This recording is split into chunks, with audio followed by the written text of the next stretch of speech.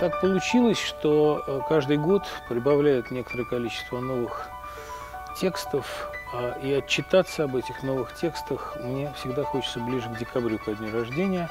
Мы соберемся в Доме литераторов, чтобы почитать лирику этого года, вспомнить какие-то любимые старые стихи, поотвечать на вопросы, ну и вообще понять, что в нас за этот год переменилось.